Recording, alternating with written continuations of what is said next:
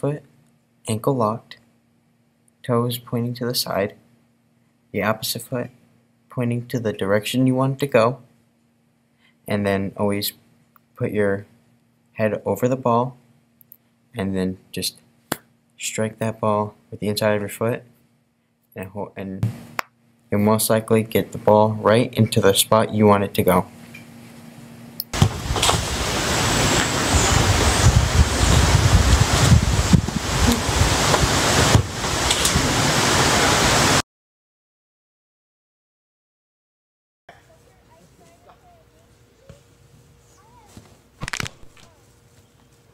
I'll play it kid. Got you, bro. Remember my glasses are wet.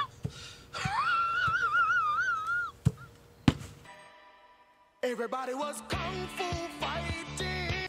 No. Keep. Keep. Hey, stop it.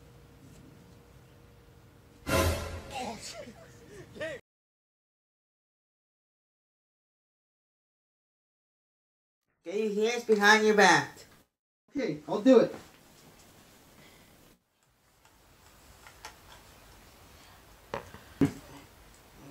Hmm. Hmm. Hmm. I didn't do anything.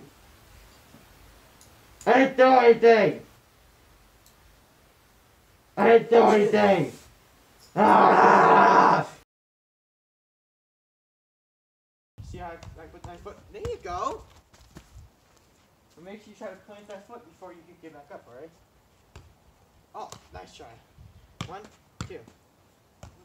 Oh, there you go. Good job. That was good.